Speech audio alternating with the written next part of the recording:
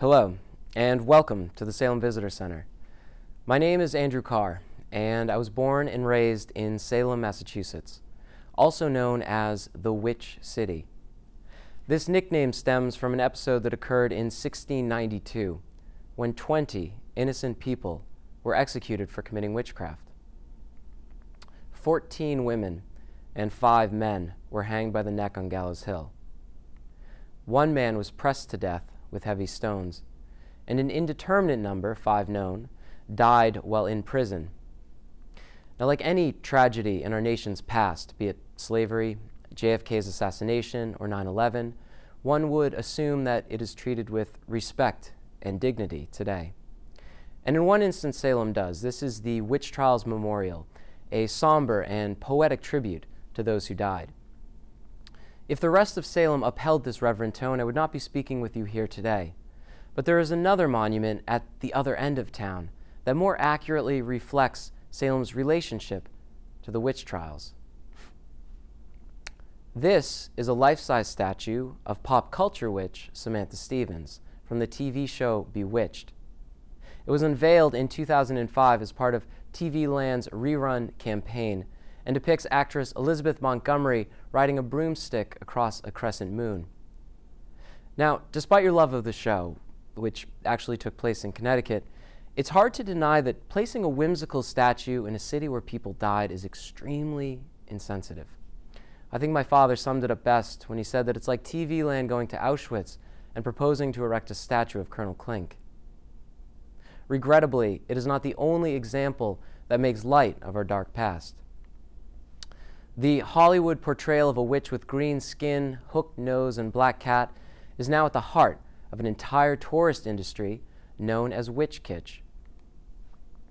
Vendors peddle elaborately decorated witch hats.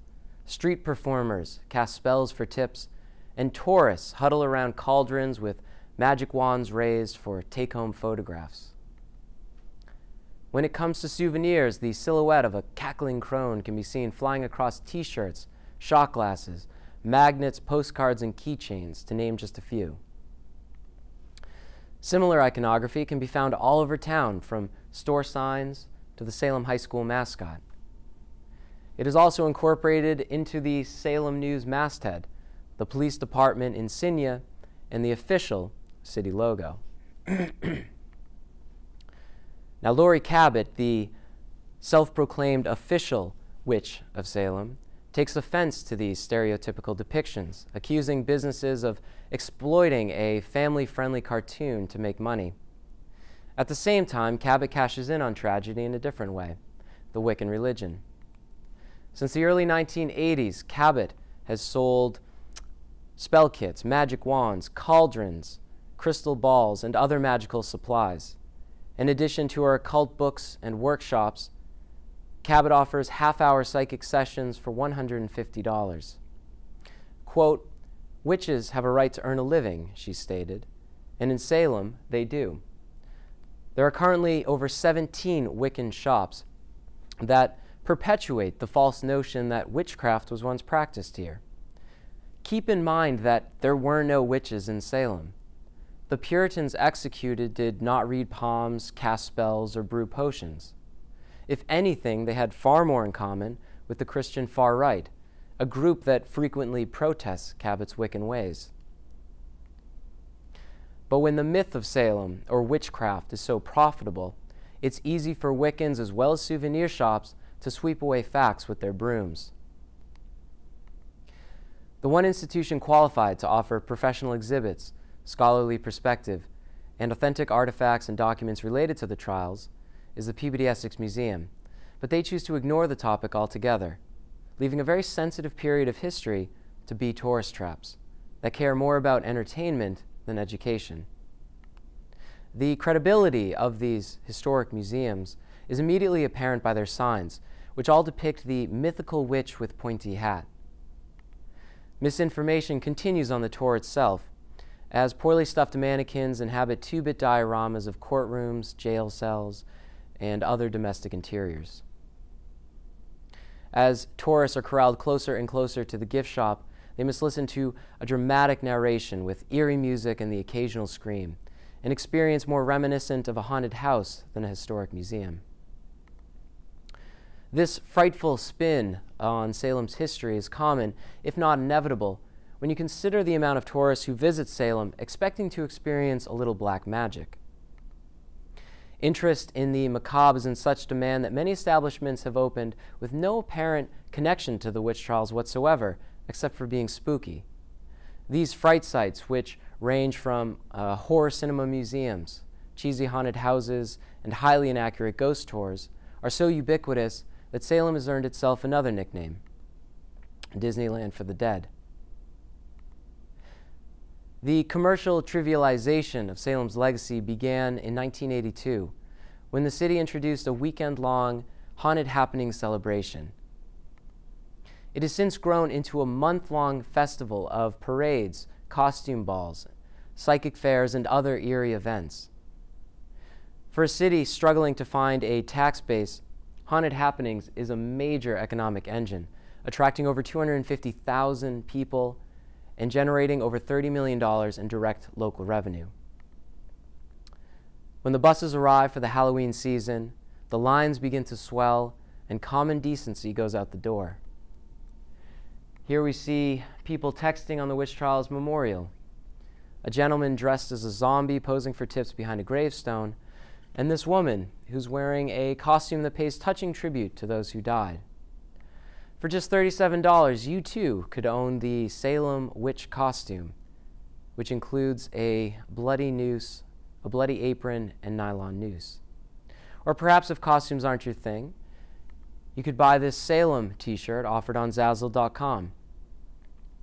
The designer of this t shirt was clearly inspired by the t shirts offered at the Kennedy Space Center in Florida and the Book Depository in Dallas. Why is it that two of these shirts are unthinkable and one is $14.99? When it comes to the Salem witch trials, it seems like there's no consideration for the dead anymore. And with new hotels being built and cruise ships docking at the local wharf, the Halloweenization of Salem will only grow. And with every new tourist trap that opens, the farther from history we stray. The witch kitsch is already out of hand, and many, like me, are at the rope's end. To remind people of what actually happened in 1692, I plan to reenact a witch hanging execution on June 10, 2017, 325 years after Bridget Bishop was first hanged on Gallows Hill. This performance is meant to shock some reality back into a city that caters to souvenir hungry tourists who prefer hocus pocus to fact. This educational demonstration will bring history to life for the general public. High standards of authenticity will be implemented as viewers watch an actress playing Bridget Bishop being carted to Gallows Hill and then hanged. Although details of the executions are limited to a handful of primary sources, there is enough evidence for a faithful recreation to take place. According to her death warrant, for instance, we know that Bishop was hanged on Friday, June 10th, sometime between 8 a.m. and noon. Sheriff George Corwin was responsible for safely conveying Bishop to the chosen site of execution and then hanging her by the neck until she died. Prisoners accused of witchcraft were often shackled in their cells to prevent their specters from escaping to harm others. And Bishop was undoubtedly restrained en route to her execution as well.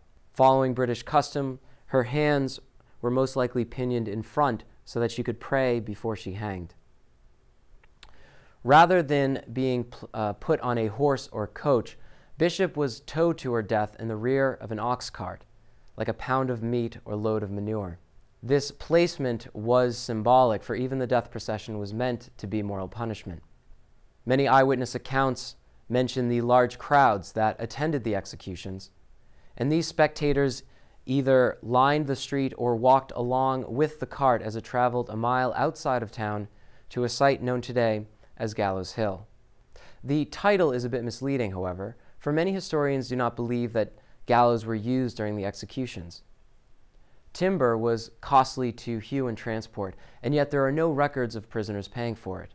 Surprising when they were billed for court fees, prison meals, transportation from jail to jail, and even hangman's fees.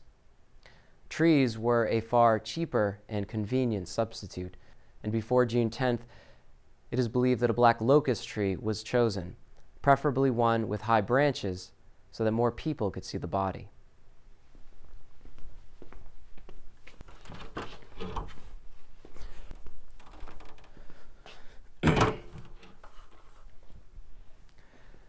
Rather than standing on a scaffold, a ladder was placed against the trunk of the tree to gain elevation. Bishop's spectral restraints now served a new function to prevent her from panicking and putting up a fight. It's one thing to remain composed en route to the execution, and another as you're about to plunge into eternity. Although there are no descriptions of Bishop's final moments, it's safe to assume that every step of the ladder must have been terrifying. Once Bishop was in position, the hangman tightened the noose around Bishop's neck. It was at this moment when many of the witch trial victims prayed or declared their innocence one last time. And then the hangman turned over the ladder, a process appropriately called turning off.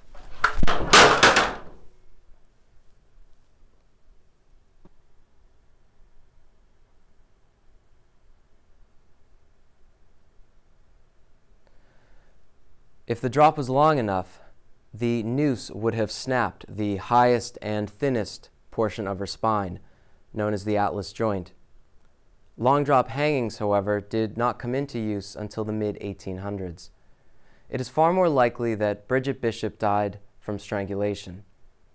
During a low drop hanging, the pressure of the noose causes the tongue to push back and up, which seals off the breathing. Dying this way can be agonizingly slow, as it was for Ann Hurle, who in 1804 hanged for over three and a half minutes before she finally succumbed to asphyxiation. Watching Bishop's face contort and her feet desperately kick to find ground must have been a horrific sight. Once dead, her body was cut down and unceremoniously heaved into a shallow ditch for it was against the law to be buried in consecrated ground. This reenactment may seem morbid, but it is no less gruesome than other violent historical reenactments we approach with great respect, such as the Battle of Gettysburg, where thousands of soldiers are slaughtered. Similar in tone, June 10th will be a day of remembrance. Hopefully, it will restore a sense of perspective to Salem and honor Bridget Bishop's memory. In order for a safe and authentic uh, reenactment to take place, funding is required for stunt coordinators, actors, park rentals, um, oxen. And if you believe this idea has any merit, please consider donating at ropesend.org. There you will find information about Bridget Bishop, the Salem tourist industry, as well as the reenactment itself. Thank you.